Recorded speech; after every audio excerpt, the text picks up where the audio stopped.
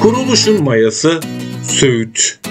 Cangizikolikler Türk tarihinde çok önemli bir konuma sahip hem kadim köklü tarihiyle hem de muhteşem doğal güzellikleriyle dikkatleri üzerine çeken, dünyaya nam salmış, üç kıtada hüküm Yüce Allah'ın izniyle sürmüş, Osmanlı Devleti'nin kurulduğu topraklar Söğüt ilçemize hoş geldiniz, sefalar getirdiniz. Şayet hazırsanız Cangezi Kolikler bizlere geçmişe zaman yolculuğuna çıkaracak, tarihin derinliklerine yolculuk yapmamızı inşallah sağlayacak Söğüt gezimizde adeta bizleri dört gözle bekleyen Türk'ün dedesi Ulucet tarihi Ertuğrul Gazi Türbesi, Türk Devleti kurucularının yer aldığı Türk Büyükleri Abidesi, Mimari Zerafetin Zirvesi, Çifte Minareli Hamidiye Camisi, İlim Deryası Dursun Fakih'in Türbesi, Osmanlı'nın ilk kubbeli camisi Çelebi Sultan Mehmet Camii, Saltanat Armalı Osmanlı'nın lise mektebi Hamidiye İdadisi, Gariplerin Evi Darul Eytam namı diğer Yetimler Yurdu, Osmanlı Devleti'nin ilk mescidi Kuyulu Mescit, Çinlilerin Sultanı Kaymakam Çeşmesi, namı diğer Sayit Bey Çeşmesi, yörenin tarih ve kültür feneri Söğüt Ertuğrul Gazi Müzesi, İnşallah şifalı suları ile popüler Söğüt Çaltı Kaplıcası, görülmeye değer doğal güzellikleriyle Yukarı Dere Mesire alanı, 740 senelik bir efsane, geleneksel Söğüt şenlikleri, geçmişin neredeyse 735 seneye dayanan şifalı pilav, eşsiz lezzetiyle bıldırcın kebabı, köftelerin piri parmak köftesi, farklı bir lezzet oğmaş çorbası, ağızları tatlandıran cevizli yüzme tatlısı, nuhut ile yapılan eşsiz bir lezzet, Bilecik nohutlu mantığı ile Söğüt şehrimizi hep birlikte keşfedeceğiz inşallah. Kahvelerinizi aldıysanız hemen başlıyoruz. Bilecik'in şirin ve buram buram tarih kokan ilçesi Söğüt'ün coğrafyası. Söğüt, Bilecik'e bağlı olan bir ilçemizdir Cangizikolikler. Türk tarihinde çok önemli bir konuma sahip olan Söğüt, harita üstünde ise kritik bir konumda yer almaktadır. Türkiye'nin kuzeybatısında bulunan Söğüt ilçemizin kuzey kısmında Gölpazarı, kuzeydoğusunda İnhisar, güney bölümünde Eskişehir il merkezi, güneybatısında Bozüyük ve batı kısmında da Bilecik il merkezi ile komşu olmaktadır. Söğüt ilçemizin yüz ölçümü yaklaşık 485 kilometre karedir ve denizden yüksekliği ise 665 metredir. Söğüt'ün kadim tarihi Tarihimizde Söğüt Osmanlı medeniyetinin kuruluş yeri olarak büyük bir öneme sahiptir. Aslında Söğüt konumu nedeniyle tarihte yol üstü uğranılan merkezlerden biri olmuştur Cangezi Kolikler. Öyle ki Mudanya, Bursa ve Gemlik iskelesinden Konya'ya kadar ulaşan yol bu yöremizden geçmektedir. İstanbul'un Yüce Allah'ın izniyle fethinden sonra Mekke'ye giden Türk hacılar için Söğüt şehrimiz önemli uğrak ve durak merkezlerinden biri olmuştur. Bu yüzden bir yola hacılar yolu da denmektedir. Söğüt şehrimizin en verimli dönemleri ise 13. yüzyıl sonrası başlamaktadır. Oğuz Türklerinin kayı boyu Karakeçili aşireti bu topraklara yerleşmiş olup bu topraklar hudutları batıda Avrupa, doğuda Asya ve güneyde Afrika'ya kadar Yüce Allah'ın izniyle genişleyecek ve dünyaya nam salacak Büyük Osmanlı Devleti'nin temellerini oluşturacaktır. Selçuklu Sultanı Alaaddin Keykubat, batıdaki anlaşmazlıklara son vermek adına Marmara bölgesine seferler düzenlemiştir. Sultan Alaaddin Keykubat, Sultan Öykü kadar ilerlediğinde Kayıbeyi Ertuğrul Gazi Sultan'ın yanında seferlere katılmıştır. Ermeni Derbendinde ise Bizans ordusuyla savaşan Alaaddin Keykubat ve Ertuğrul Gazi, Ertuğrul Gazi'nin ve askerlerinin kahramanca mücadelesiyle savaşı zaferle kazanır. Bunun üzerine Selçuklu Sultanı Alaaddin Keykubat, Sultan Öykü büyük hükümdar Ertuğrul Gazi'ye mülk olarak verir. Ertuğrul Gazi'nin Gündüz Alp, Savcı Bey, Osman Bey adlarında 3 erkek evladı olur.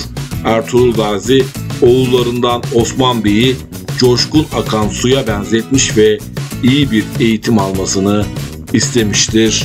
Can Gezikolikler Evliya Çelebi seyahatnamesinde Söğüt Ünlü seyyahımız Evliya Çelebi Söğüt ile ilgili Seyahatname isimli kitabında övgüyle bahsetmektedir. Kurtuluş Savaşı'nda Söğüt Kurtuluş Savaşı milli mücadele yıllarında Söğüt halkımız canla başla mücadeleye destek olmuştur. Can Anadolu'muz ne hazindir ki 1. Dünya Savaşı'nın ardından Yunan işgaline maruz kalmış, müdafaa hukuk cemiyetleri kurulmuştur. İnönü cephesinde 1921'de göre büyük bir mücadeleye hazırlanmıştır. Halkımız kadın, erkek, genç, ihtiyar demeden tüm imkanlarıyla düşmana karşı geleceklerini deklare etmiştir. Ancak Söğüt yöremizde bir süre Yunan işgalinde kalarak yakılıp yıkılmıştır. Büyük hükümdar Ertuğrul Gazi'nin mezarı ise ne hazindir ki kurşunlanmış ve zarar görmüştür. Günümüzde türbe etrafındaki kepenklerde kurşun delikleri izleri görülebilmektedir. Can gezikolikler. Söğüt adı nereden geliyor? Söğüt'ün ilk çağlardaki konumu ve ismi hakkında çok fazla bir bilgi maalesef bulunmamaktadır can gezikolikler. Kaynaklara göre Söğüt'ün ilk bilinen ismi İtea'dır. Yerleşim merkezinin Bizans dönemindeki ismi ise Tebazyon veya Sefasyon'dur. Söğüt 796 veya 797 yıllarında Abbasi halifesi Harun Reşit döneminde fethedilmiş ve böylelikle Müslümanların eline geçmiştir. Arap, coğrafya ve tarih kaynaklarında Söğüt şehrimiz için Beldetus Safsaf ismi kullanılmıştır. Farsça kaynaklarda ise yerleşim merkezinin ismi Hıddai Bit'tir. Gerek Safsaf gerekse Bit kelimeleri ise Söğüt ağacı anlamındadır. Osmanlıca kaynaklarda ve günümüzde bu kelimelerin Türkçe karşılığı Söğütçük, Söğütçük, Söğütlü Saraycık, Söğüt ve Söğüt olarak bilinmektedir. Söğüt'ün coğrafik yapısı Söğüt, Bilecik ilimizin Şirinbir ilçesidir. Ülkemizin kuzeybatısında Marmara bölgesinde yer almaktadır. Söğüt bağlı olduğu Bilecik il merkezine yaklaşık 30 kilometre, ticari ve iktisadi bağların güçlü olduğu Eskişehir'e ise yaklaşık 55 kilometre uzaklıktadır.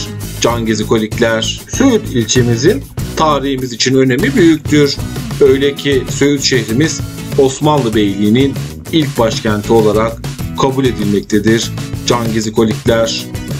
Türk'ün dedesi Ulucet, tarihi Ertuğrul Gazi Türbesi. Ertuğrul Gazi'nin Söğüt yöresine yerleşmesi Selçuklu Sultan Alaaddin Keykubat'a verdiği destek ve kahramanca kazandığı savaşlara dayanmaktadır. Türbe hemen Söğüt şehir merkezinde Ertuğrul Gazi Caddesi'nde bulunmaktadır. Türbenin girişinde ise Türk devletlerinin bayrakları yer almaktadır.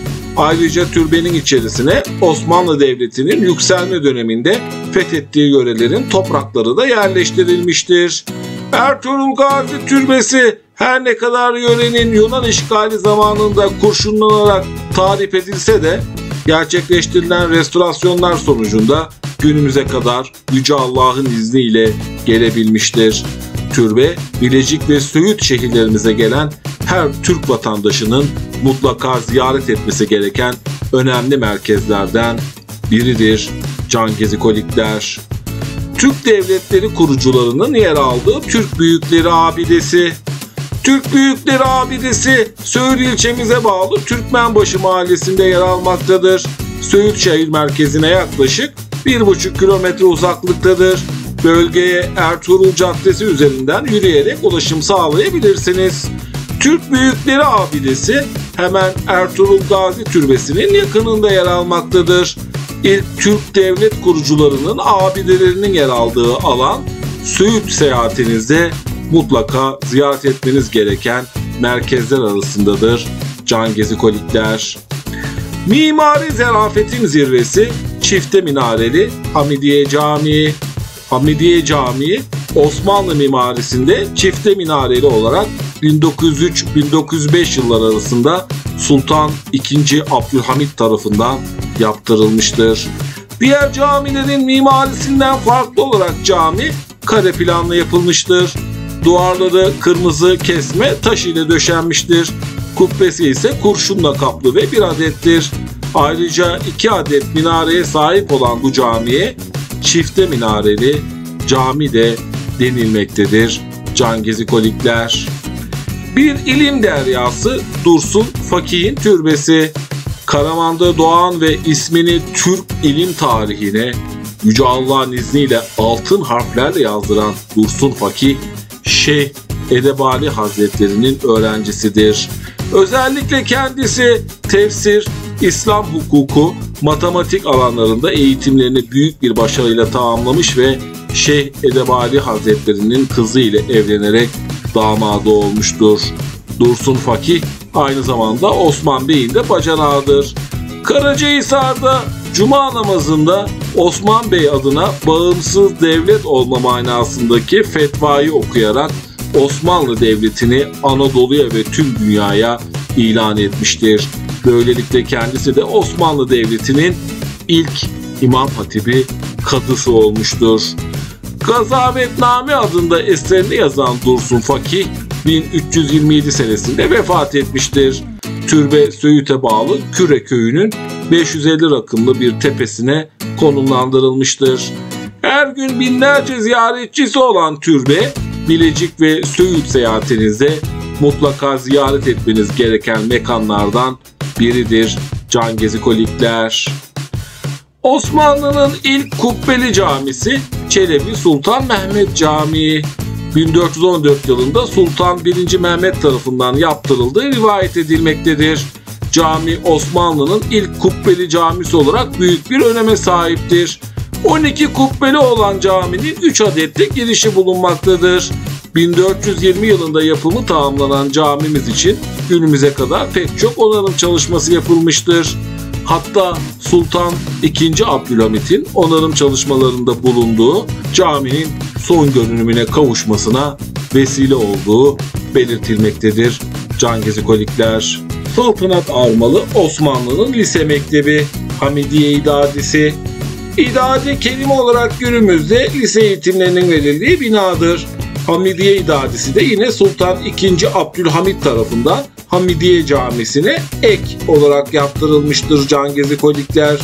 Burada Hristiyan ve Müslümanların beraber eğitim alması amaçlanmaktadır. Hamidiye İdadisi'ne Osmanlı'nın batı tarzındaki okulu da denilebilir. İki katlı ve taştan inşa edilmiştir. İdadi Hamidiye Camisi'nin hemen karşısında Söğüt şehir merkezinde bulunmaktadır. Gariplerin evi Darul Eytam namı diğer yetimler yurdu. Yetimler yurdu Osmanlı Devleti zamanında inşa edilmiştir. Mimarisi bilim merkezi Hamidiye İdadisi ile çok benzerdir. Yetimlerin eğitim ve barınma ihtiyacını karşılamak amacıyla yapılmış olup bina iki katlı inşa edilmiştir. Binanın duvarları lacivert ve kırmızı renklerde çinilerle süslenmiş. Pencere, taban ve tavan döşemesi ise ahşaptan yapılmıştır. İdadi ve Darül Eytam esasında Osmanlı'nın eğitime verdiği önemi yansıtmaktadır Can Gezikolikler. Osmanlı Devleti'nin ilk mescidi Kuyunu Mescid. Kuyulu Mescid yörede Osmanlı Devleti'nin ilk mescidi olma özelliğini taşımaktadır. Rivayete göre Ertuğrul Gazi Müslüman olmayan kişilerden arsayı satın alır ve burada bir mescit inşa etmek ister. Önde gelen bazı kayı liderleri ise gayrimüslimlerin olduğu bölgede mescidin açılmaması gerektiğini düşündükleri için buna karşı çıkarlar. Ertuğrul Gazi'nin amacı ise gayrimüslimleri İslam ile tanıştırabilmektir. Gayrimüslimler kayı boyunun kullandığı suyun zehirli olduğunu iddia eder. Bunun üzerine Ertuğrul Gazi su kuyusunu bizzat kendisi kazar. Çıkan suyu önce kendisi 3 gün içer. Ardından da atına da 3 gün içerir. Böylelikle sudan zarar görülmediğini ve zehirlenmenin olmadığını gayrimüslimler bizzat kendi gözleriyle görmüş olurlar. Ertuğrul Gazi'nin bunu yapmasının amacı ise gayrimüslimlere samimiyeti, adaleti ve dürüstlüğü kanıtlamaktır. Böylelikle mescit Kuyulu adını da içinde bulunduran kuyudan alır. Ayrıca adı Ertuğrul Gazi Mescidi olarak da geçmektedir. Mescit maksimum 40 kişinin ibadet edebilmesine müsait küçük bir ibadethanedir. Can Gezikolikler Çinilerin sultanı Kaymakam Çeşmesi, namı diğer Sayit Bey Çeşmesi. Çelebi Sultan Mehmet Camisi'nin karşısında yer alan bu yapı Sultan Reşat zamanında 1917 yılında kaymakam olan Sayit Bey tarafından yaptırılmıştır. Çeşme Osmanlı'nın mimari yapım üslubunu yansıtmaktadır. Dört cepheli çeşme İznik çinisi ve Kütahya çinisi ile süslenmiştir. Yapının ana maddesi mermer olup kabartma olarak yıldız motifleri işlenmiştir. Çeşme aynı zamanda Sayit Bey Çeşmesi olarak da isimlendirilmektedir. Can Gezikolikler, Yörenin tarih ve kültür feneri Söğüt Ertuğrul Gazi Müzesi. Halime Hatun Mescidi adıyla kullanılan bu yapı 1981 yılında müze olarak faaliyete başlamıştır.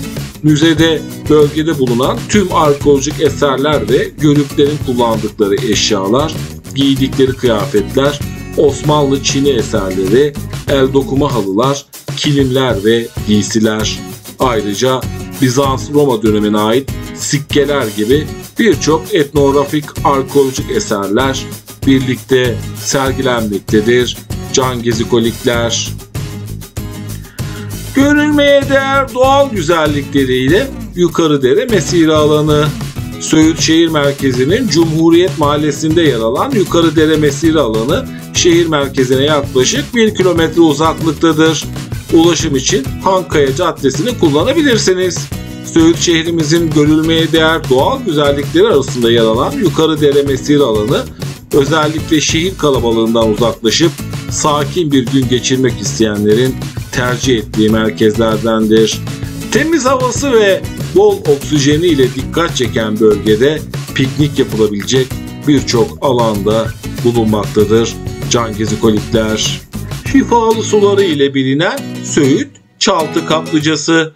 Söğüt'e bağlı Çaltı beldesinde yer alan Söğüt Çaltı Kaplıcası şehir merkezine yaklaşık 11 kilometre uzaklıktadır. Ulaşım için İnhisar Söğüt yolunu kullanabilirsiniz. Can gezikolikler bölgede konaklayabileceğiniz herhangi bir tesis yoktur. Bu sebepten dolayı Kaplıca bölgesi daha çok günübirlik ziyaretler için uygundur. Kaplıca suyu 38 derece sıcaklığa sahiptir. Su şifalı olmasının yanı sıra içme suyu olarak da tüketilebilmektedir. Kadın hastalıkları, kronik rahatsızlıklar, bel fıtığı, cilt hastalıkları, romatizmal hastalıklar, mide hastalıkları gibi birçok rahatsızlığa kaplıca suyunun Yüce Allah'ın izniyle iyi geldiği söylenmektedir. Can gezikolikler 740 senelik bir efsane geleneksel Söğüt şenlikleri. Şenlikler Yörük Bayramı olarak da bilinmektedir. Her yıl Eylül ayının ikinci haftasının son 3 gününde bütün bölgelerden ülkemizin dört bir yanından Türkmenler ve Yörükler yanlarında bulgur, koyun ve keçileriyle kayıp oyunun beyi olan Ertuğrul Gazi'ye anma törenleri için Söğüt şehrimize intikal sağlamaktadırlar. Can gezikolikler. Esasında bu törenler Ertuğrul Gazi zamanında toy şenliği olarak yapılırmış. Şenlikte Söğüt'ün el dokuma kilimleriyle çadırları kurulmakta, yöresel kıyafetler giyilmektedir. Aynı zamanda yayık ayranı ile birlikte odun ateşindeki saçlarda gözlemeler yapılmaktadır. Şenlikler İstiklal Marşı'nın okunmasıyla başlarken ardından Mehteran konseri verilmektedir. Ayrıca cirit oyunlarının yanı sıra yörüklerin yöresel oyunları da sergilenmektedir.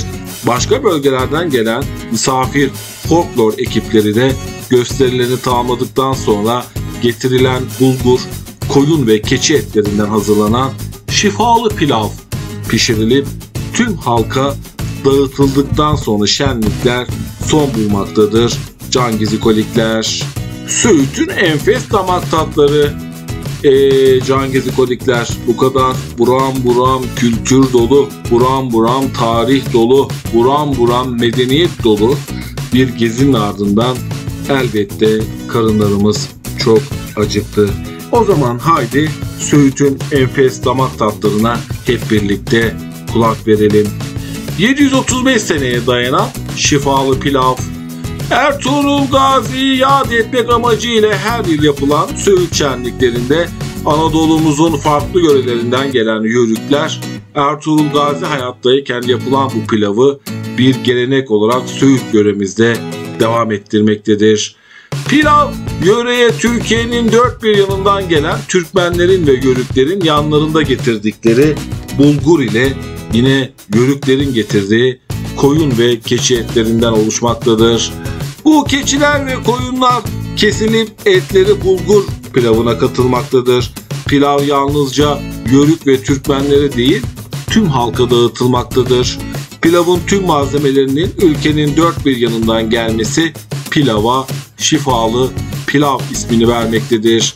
Her yıl Söğüt şenliklerinde toy geleneği ise devam etmektedir. Can gezikolikler. Eşsiz lezzetiyle bıldırcın kebabı. Bıldırcın kebabı isminden de anlaşılacağı gibi bıldırcından yapılmaktadır. Bıldırcın, soğan ve patates bir tepsiye dizilir. Tuz ve karabiber ilave edilip fırında pişirilerek servis edilir. Öyleyse afiyet, bal şeker olsun can gezikolikler. Köftelerin piri parmak köftesi. Parmak köfte yöreye özgü bir lezzet olup ince bulgurdan yapılmaktadır can gezikolikler. Bulgura ilave olarak sarımsak, irmik ve salça kullanılmaktadır. Parmak şeklinde yapıldığı için parmak köfte adını almıştır. Farklı bir lezzet oğmaş çorbası. Her yörede farklı isimlerle bilinen ama mutlaka sofralarda yerini alan meşhur geleneksel çorbalarımızdan biri olan oğmaç Bilecik sofralarında baş tacı. Özellikle kış aylarının vazgeçilmez lezzetlerinden olan çorba, kıyma, domates, soğan ve tercihe göre kırmızı biber kullanılarak yapılmaktadır. Can gezikolikler. Bu arada olmaş çorbası sıcak veya soğuk içilebilmektedir. Afiyet olsun. Ağızları tatlandıran efsane bir lezzet. Cevizli büzme tatlısı. Bilecek yöresel yemekler listemizin tatlılar kısmında ise şehrin en sık yenilen ve en çok sevilen baklavası büzme tatlısı yer alıyor. Elde açılan özel incecik baklava yufkalarıyla yapılan baklava içerisine ceviz katılarak efsane bir lezzete dönüşüyor can gezikolikler.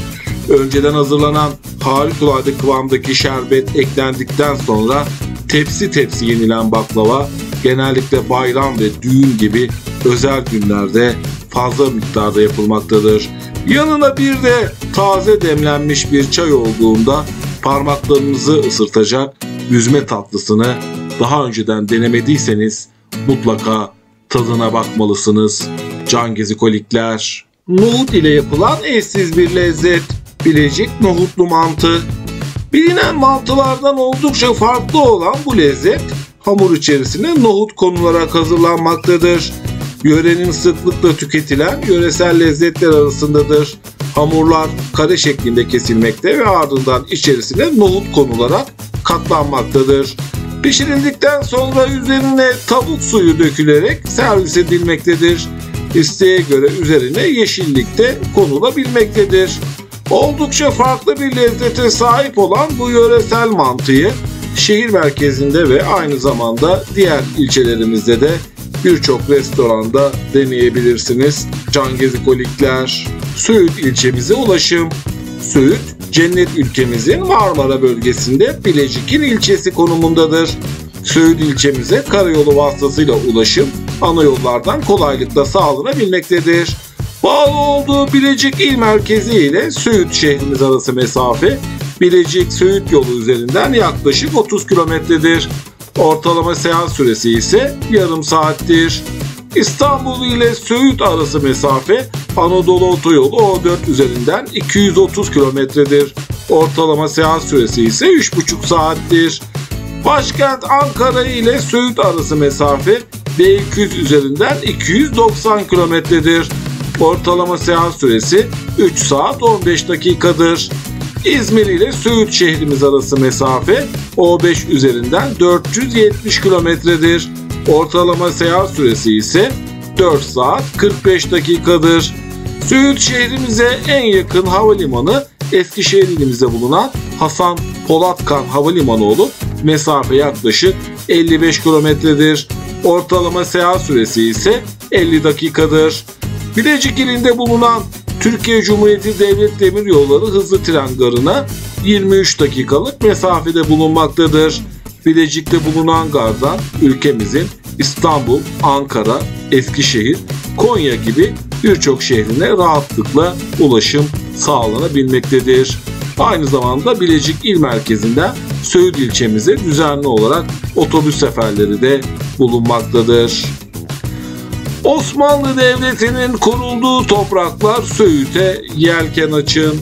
Tarihin en büyük ve en önemli imparatorluklarından biri olan Osmanlı İmparatorluğu'nun kuruluşuna mayalık etmiş Söğüt şehrimizi hep birlikte Yüce Allah'ın izniyle keşfetmeye çalıştık can gezikolikler.